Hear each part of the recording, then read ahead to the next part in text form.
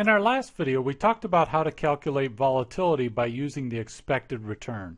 But what if you don't know the expected return? Well, in that case, you could use historical realized returns in order to calculate volatility. So let's say that you have the S&P 500 or some other stock market index and you want to know what is the volatility over a certain period of time. So let's take the S&P 500 from 2004 to 2007 You've got the annual return, so it's 10.9% in 2004, going through 2007, where it's 5.5%. Okay. Now you want to calculate the volatility of the S&P 500. How would you go about doing that? Well, first off, we need to know the average return over this period. Okay, so what we're just going to do here is we're going to take each return, so 0.109 for 2004, 0.049 for 2005, etc. We're going to add them together in the numerator. Okay, so 0.109 plus 0.049 plus 0.158 plus 0.055, and we're going to divide that by 4 because there are four periods, four years here. Okay, now that gives us 0.09275. So in other words, the return was 9.275%. But we're going to use that number in order to compute our volatility because remember our volatility is basically just going to be the standard deviation of these returns. But before we can get the standard deviation, we need to calculate the variance. And so we're going to need this number here, this 0.09275, that average return. We're going to need that to calculate the variance. So each here's what we do to get the variance.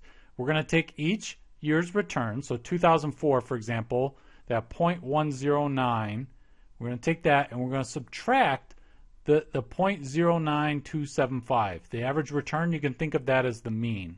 Okay, so we're going to take the observation for each year, each year's return, and then we're going to subtract out the mean, the average return each time, and then we're going to square it, right? That's all we're doing with the variance. We're getting squared deviations from the mean. Okay, so we do that here, and I'm not going to belabor the point and go through all this. You can see the equation here, but we're going to divide in the denominator not by 4, but actually 4 minus 1, right? So the formula would be n minus 1. n's the number of observations. We have 4 years here, so the n is 4, but we're subtracting 1. Why? Because we don't know the actual expected return. We don't know that. What we're doing really here is sampling.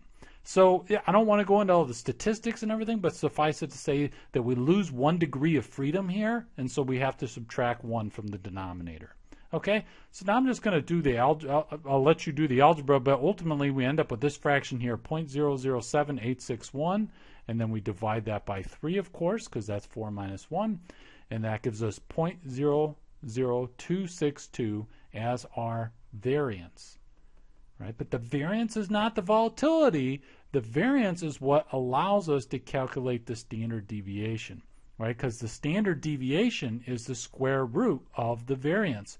So we're going to take the square root of this 0.00262 and that's going to give us our standard deviation, which is 0.051186 and we can convert that to a percentage 5.1186%.